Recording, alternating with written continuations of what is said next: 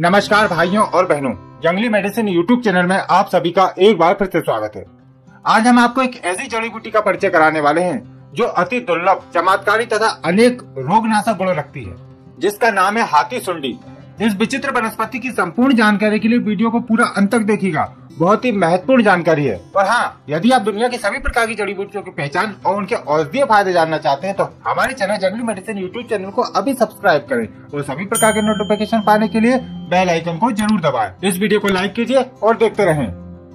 यह जो आप देख रहे हैं, यह हाथी सुंडी का पौधा है, जो पानी वाले क्षेत्रों में पंजाब, झेलम तथा सड़कों के किनारे और पड़ती भूमि पर अधिक देखे जाते हैं। इसका पौधा एक से दो फीट ऊँचा तक हो जाता है। इस पौधे के पत्ते इस तरह के होते हैं, जो खुरदुरे और कुछ अल्प मात्रा में रोएदार होते हैं। वैसे इसका संपूर्ण पौधा रोएदार होता है। इस पौधे का फलने फूलने का समय अगस्त से जनवरी तक का होता है।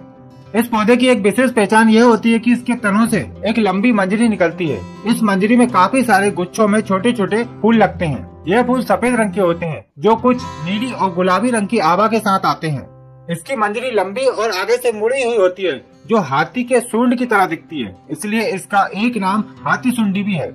वैसे विभिन्न क्षेत्रों में इसको अलग अलग नाम से भी जाना जाता है।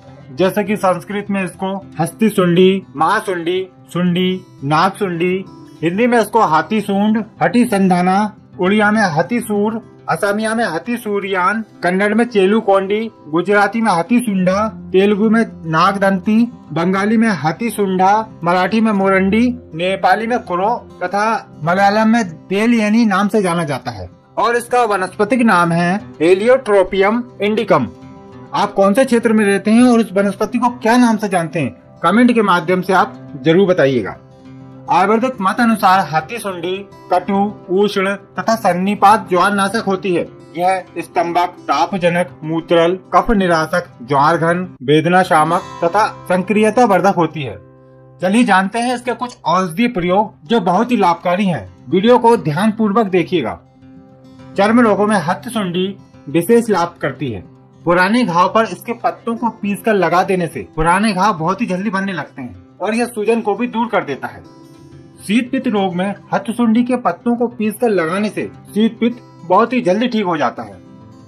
पुराने से पुराने दांत को मिटाने के लिए इसके पत्तों को पीस कर दांत पर लेप किया जाए तो दांत बहुत ही जल्दी ठीक हो जाता है।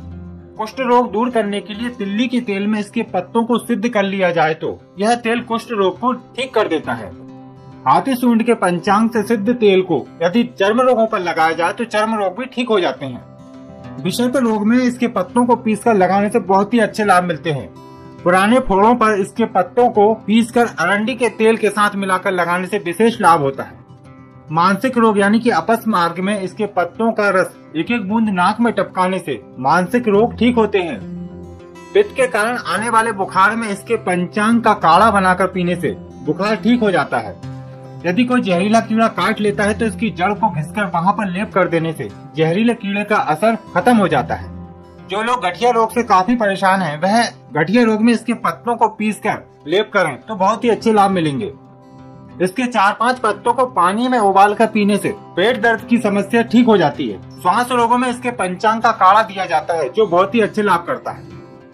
इसके पत्तों को पीस कर गंडमाला पर लगाने से गंडमाला रोग ठीक हो जाता है।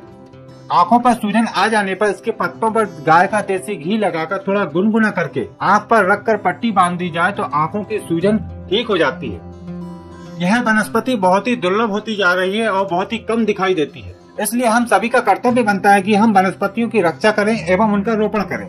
आप इस वनस्पति के बारे में क्या जानकारी रखते हैं, कमेंट के माध्यम से ज़रूर बताएँ। आशा करते हैं कि जानकारी आपको पसंद आई होगी। इस वीडियो को ज़्यादा से ज़्यादा शेयर करें ताकि सभी लोग इस वनस्पति की जानकारी प्राप्त कर सके और इसकी रक्षा कर पाए। फिर मिलते हैं आपको एक नई जानकारी के साथ, एक नई वीडियो में। तब तक के लिए नमस्कार।